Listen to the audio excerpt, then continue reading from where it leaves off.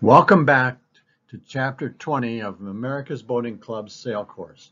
In this chapter, we will be covering marlin spike seamanship, essentially the handling of ropes and knots.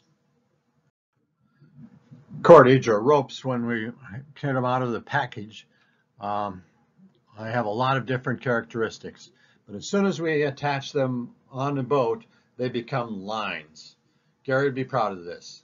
So we've got several different types of lines that we're, you know, manufacturing types of lines that we can, you know, talk about here. The first one is going to be nylon. Nylon lines, we use them, you know, they're, they're really good for anchoring, mooring, and dock lines.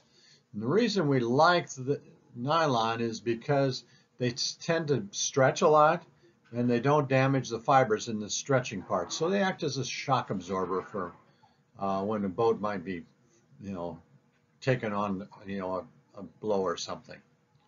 The next type of line is polyester Dacron. Now these aren't as strong as nylon.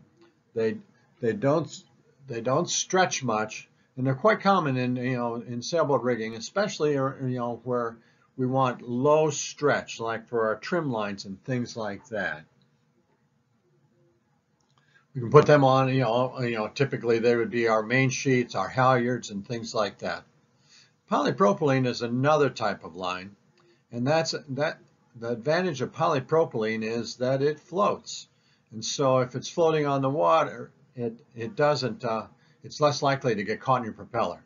Still can, but it's less likely. Um, one of the problems with polypropylene, this is what we see in water ski tow lines and things like that, is that they uh, sunlight is, is very hard on polypropylene lines and, and they cause it to break down. Um, ultraviolet light is very bad on them. and when polypropylene, you know, we can, you know, we need to be careful of those because they can break without warning. They, they stretch a little too, but more importantly, when they break, they just break in like a snap. There's a third type of, of stuff now that um, that's becoming very, very prevalent uh, is the higher tech lines. I, I call them high tech lines. And essentially, they are very strong, uh, very low stretch lines, you know, often made out of combinations of Kevlar, Dyneema, and they can, you know, and they can weave these in with polyester uh, too to kind of reduce the cost. They're generally very expensive. You know, a couple do couple dollars a foot is not uncommon. Um, whereas a, you know, a cheap nylon line or polypropylene would be about a quarter of a foot. So that's kind of gives you an idea of the differences of these types of things. There's several techniques as far as manufacturing these different kinds of rope. Uh, in this example, we're talking about a three-strand uh, alignment. What we start out with, to make a three-strand laid line rope, we really end up with wrapping around, twirling three lines of what we do is we start out with these little threads and we wind them in and we, we combine them into a, a, braided line down here. So these are the threads that go down into this space and we twist them around and they become a, a very, you know, a small rope, maybe a quarter of an inch type diameter. And then we take, as we take these multiple strands, put them into a quarter inch line, and then we combine and wrap those around into three, three layers of, of bigger lines. So each one of these lines uh, row, rows around the, the, the rope. There's another smaller rope. And you could, if we wanted to make a really heavier line, we could actually then create, you know, uh, we start with threads, we get to quarter inch. This probably would be about a half inch line. We could make a one inch line by combining three of this type of rope into really to bulk up the rope to whatever we want to achieve for strength and ease of handling. Most of our lines can come unraveled if we don't properly treat the end.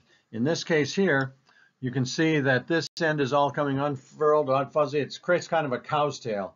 The uh, previous triple braid line is even worse for coming unwound and, and becoming unraveled.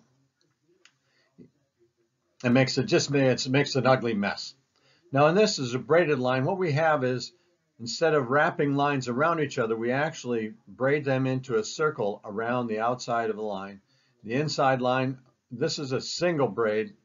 Uh, we can also have a double braid, which we which we start with a an inner a core made out of a braided line, and then we wrap that around with another set of braided lines to um, create an easy, easy to handle. One of the nice things about uh, braided lines is they're they're easy on your hands. They're nice and easy to you know to to maneuver and tie knots in. The other factor with the braiding is it spreads the load over the entire uh, system. Um, each one of these fibers then is sharing the load with the rest of this, you know, the other one, you know, the other other fibers. Let's go over again how these ropes are ma manufactured, let's say. So in, in this case down here, we've got a spool of thread that we start combining into, the fibers are getting rolled together into a smaller thread. Then those threads then are spun together into three at a time into a little bit bigger rope.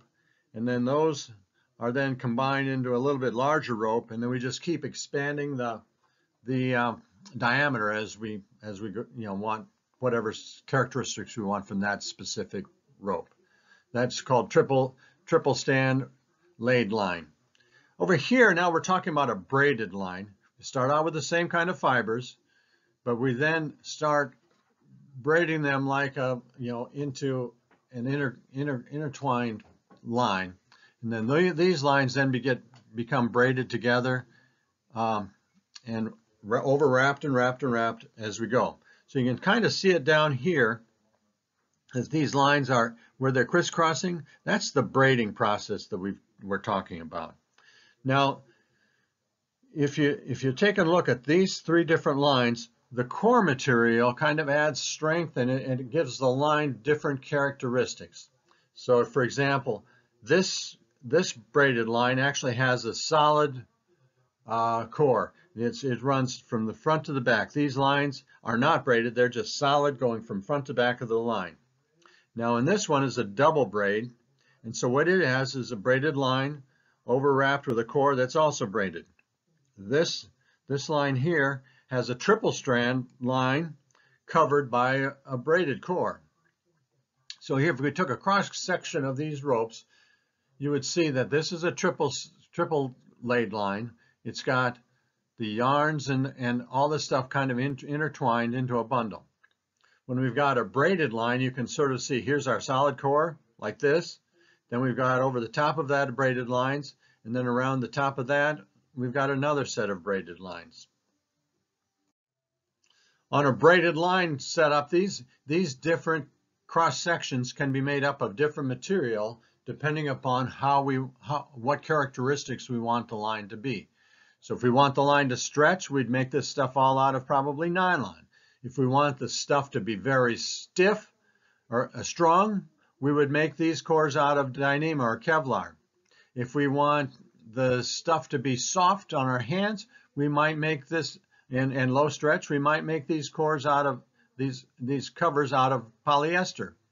Often what, what I buy is I, I get an inner core of expensive tech material and then cover it with a polyester cover. Now let's look at what we're going to do with these ropes and lines on a boat. We're going to have some knots and bends. Let's talk about what we've got going on here. A knot is a series of loops and turns in a single line. A bend is a series of loops and turns that joins two lines together. A hitch is a series of loops and turns that joins a line to something other than another line.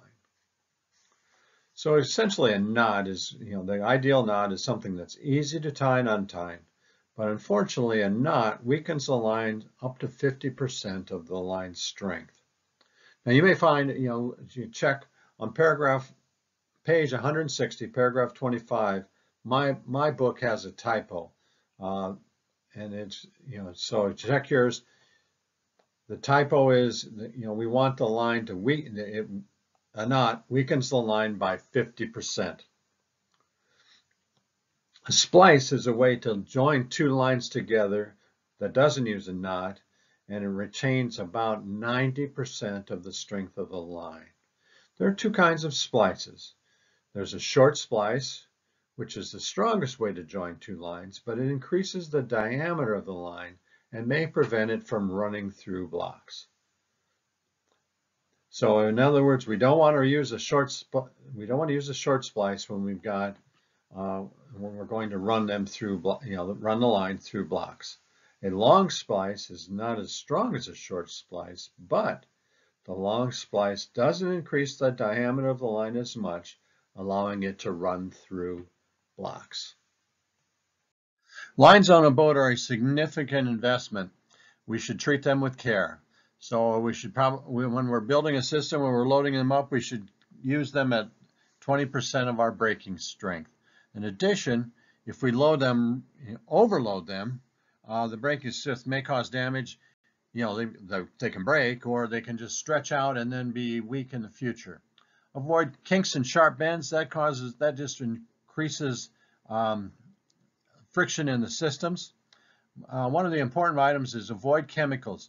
Um, you know, some people have said, well, we can put, you know, clean our, uh, wash our lines in uh, fabric softener or something like that. And even, you know, or the chemicals and just break down the, the materials of the, that the ropes are made out of. Uh, what I would do is when we're, when we're cleaning our lines up, I just wash them off with a, a hose to wash the dirt and grime out of them for the season. Here's an example of how they've protected this line here from chafing. If you leave a line out for you know mooring your boat and it rubs against a sharp edge, that can actually wear wear through the through the uh, line itself. The website Animated Knots shows step-by-step -step instructions on how to tie all kinds of knots that are used not only on boats but other applications that you might uh, run into. This, this segment actually shows us how to splice a line. Welcome to another knot tying demonstration from animatedknots.com. This video teaches you how to join three-stranded ropes using a short splice. For demonstration purposes, only three sets of tucks are made each side. However, for modern ropes, five sets of tucks is a minimum. Measure the length required for the five complete tucks, about three diameters per set of tucks, and tape the rope. Unravel the strands of the rope and push the ends into each other and tape the middle. Make the first complete set of tucks using an over and under sequence, and then make another set in the same way. Repeat this process using the strands on the other end. Remove the tapes, tighten the splice, and complete the remaining tucks. For more information about this knot and many others, and to learn about our mobile apps, please visit animatedknots.com. Splicing braiding, braided lines is a little more complex, but it's it's a similar tedious process of tucking the the the threads uh, in and out of the other one other other lines as we go. Yeah, let's just cover it one more time. A knot is a series of loops and turns in a single line. A bend is a series of loops and turns that join two lines, and a hitch is a series of loops and turns that joins a line to something other than another line. When tying knots, we've got a couple more terms that we need to, to go over. So the, the the standing part is between the bitter ends and the working ends. And the, and, and the standing part is like this is, is attached to like the deck of the boat or an anchor or something like that. The working end is actually the end that we're going to be tying the knot in. The bitter end is the is the is this end here that if we dropped it overboard, we would lose it and it kind of gives you a bitter feeling. Now let's look at some knots that we're likely to see on a boat. In this case here, we've got an overhand knot. And this is the standing part that would go out to attach to an anchor or something like that. Here's the bitter end, which is the last end. And here's an overhand knot. I'm not going to demonstrate how to tie this. Overhand knots are kind of like dandelions in a yard. They form where you don't want them, and, and they're, they're usually hard to get rid of and they're difficult to untie. This is a knot that if you've gone through one of my sailing classes, we've, we've learned how to tie them. This is a stopper knot, a figure eight knot. And the use of a figure, you know, the stopper knot is to prevent the line from going through a block so that it doesn't come, the system doesn't come unwound. Here's how we would tie a, a figure eight knot. We form a loop in the working end. We run the, the, the running end around the, the, the standing part two times and back through the loop. Here, let me demonstrate.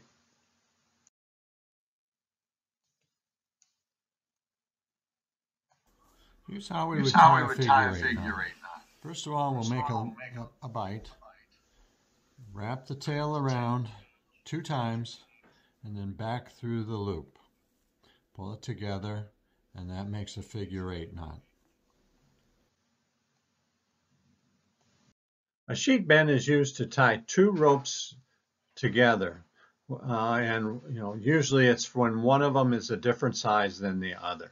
Let's see how to tie that knot. Sheet bend is used to join two lines of a different diameter. We're going to form a bite in one line, which is a loop, and then we lead the free end of the second line through the bite, around the standing part of the first line, and then back through underneath the standing part of the line, and then snug it up. Let's see how to tie that. Here's how to tie a sheet bend. You make a loop in the larger line. You bring the other line up through the through that loop, around the back side of the, the first line, the big line, and underneath the, the little line, and snug it together. Now, if the if the smaller line is a lot smaller than the the the big line, you may wrap it around twice to keep it to make it work well. So you're going to take and bring the line up through the middle, wrap it around twice, each of those lines going underneath the, the, the, work, the, the standing end.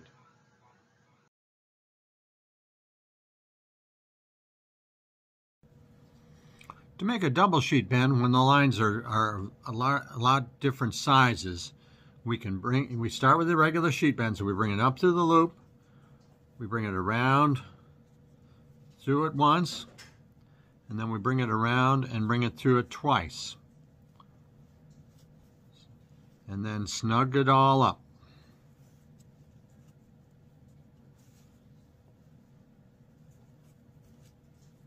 And it looks like that. The next knot we're going to learn how to tie is the bowline. This is probably a, a knot that I use on my boat every time I go out multiple times. It's just a universal knot and the reason we like it so much is whenever we need to form a loop to tie it through the, the end of a sail or on an anchor or anything like that, it's very easy to, you know, it's very secure as well as it's easy to untie no matter how much load has been put on it. I've I've untied bowlines that have had hundreds of pounds of pressure tie, put on them uh, to and and which an, in a less an honorable knot would be really difficult to untie, but the bowline, you just break the back and it goes right, you know, comes right undone. Let's go through the steps of tying a bowline. What we're going to start with is we're going to form a loop, overhand loop here, and we're going to bring the, push the working end up through that loop, and then we're going to go around the standing part of the rope and back down through that loop, initial loop, and then we're going to just snug everything up and it's going to end up looking like that. Doug Labor, the Thistle Boat Builder, showed me a really good way to do that. One of the problems that people generally have is getting this loop the right way and getting the line through the loop the right way. And he had a really good technique for doing that. All right. Uh, uh, a foolproof way to do a bowline is we're going to start with a loop all right. Now, we're then going to make a, a, a loop in the line in the standing part. We're going to hold it with thumb and finger. Now, I can go through this one of two ways. One way's right, one way's wrong. Now, the real trick is to put the standing part and the bitter end together and pull on this loop. Oh, that's wrong. Instead of dropping yep. it, we're going to put it back together and go through from the other way. I like that. Okay? Now, what we're then going to do is go around the standing part, this guy, and then go back through the loop so we're going through symmetrically. Then grab the standing part and the bitter end and pull and we're done. Excellent. Thank you, Doug. The next knot we're going to learn how to tie is the clove hitch. This line is commonly used to tie the bow line to a post at the dock. It, it, will release under load if you leave it there a long time, so it's often good to put a couple extra half hitches just to keep it from coming untied. In addition to animated knots, uh, Boating Compass, which is a website put on by America's Boating Course, also has many sailing knots that we would use in our situation.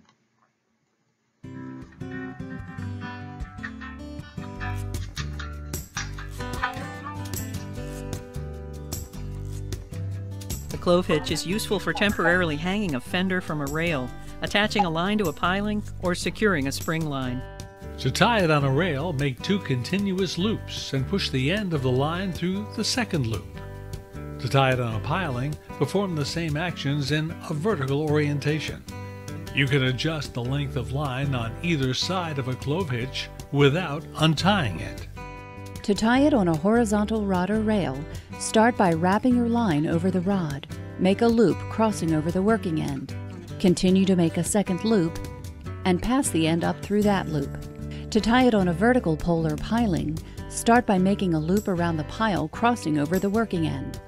Continue around the pile to make a second loop and put the end through that loop. Pull both ends to tighten. For the rail version, remember to cross the line on top of the first loop and slip the working end through the second loop.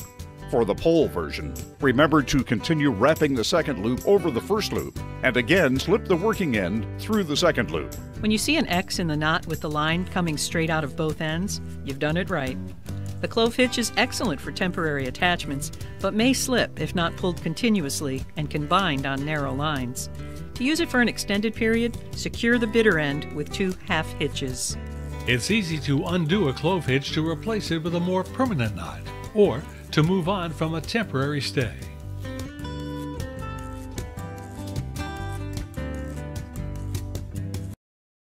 Here again are the steps that we would go through to form a clove hitch.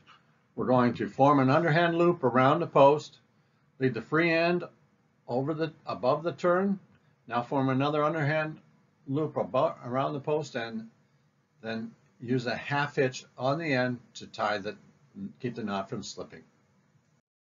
Now we're going to look at how to tie a knot on a cleat.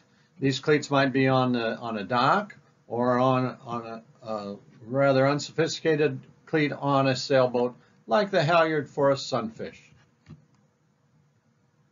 This is the cleat. Here's how we'd go about tying a cleat hitch.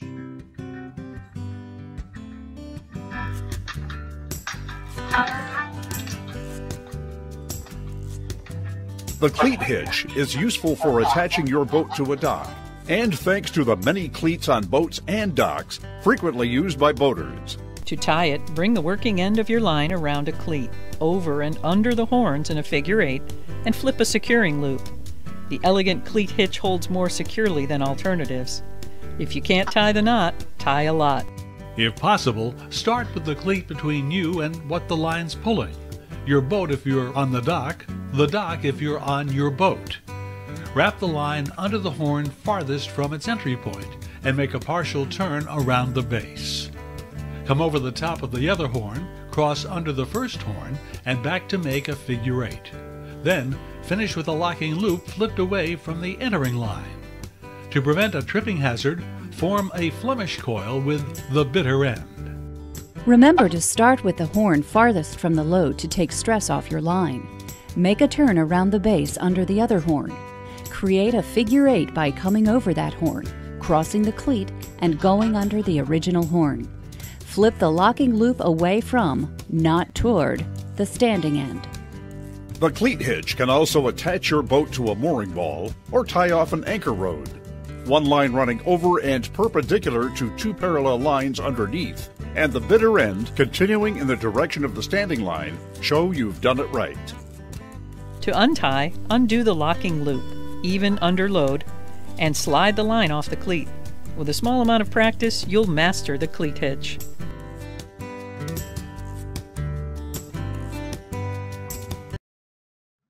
Just to review, uh, we're going to take and, and run the, our, our line three quarters of the way around the cleat away from the load.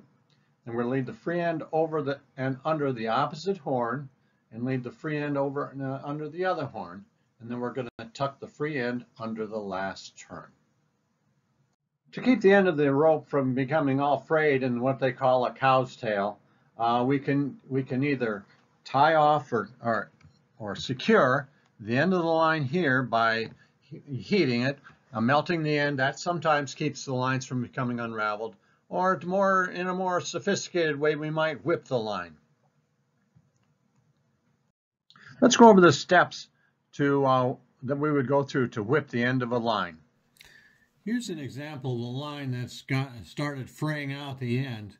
And one of the ways to keep them from fraying out is to, to whip the end of the line. And what we'll do is we'll take a small, small line and we're going to whip the end. So here's what, the way you do is you, you make the loop, you form it at the end of the line, and then you take this and wrap it around the end of the line many times.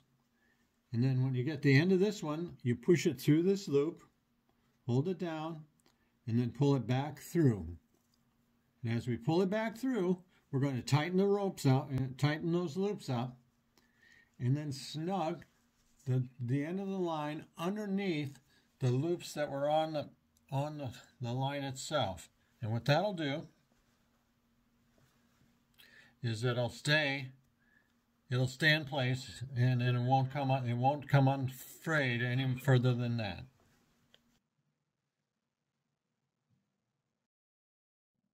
In addition to stop of the fraying of the end of a line, we can, you know, we can use the whipping method. Uh, or, you know, sometimes, uh, you know, in a hurry, I just put a piece of electrical tape around the end and that'll get me by uh, for a few days or even maybe a half a summer before it comes off. There's also a liquid whip material that you can dunk the line in to keep it from, it's kind of a gooey stuff like it's the gooey stuff that uh, will keep the line from coming undone, or you can just melt the end of the line off. Let's look at our vocabulary for this section. This is where I would usually have already gone through a lot of show and tell, uh, but we haven't been able to do that in this case. Let's look at the first one, becket.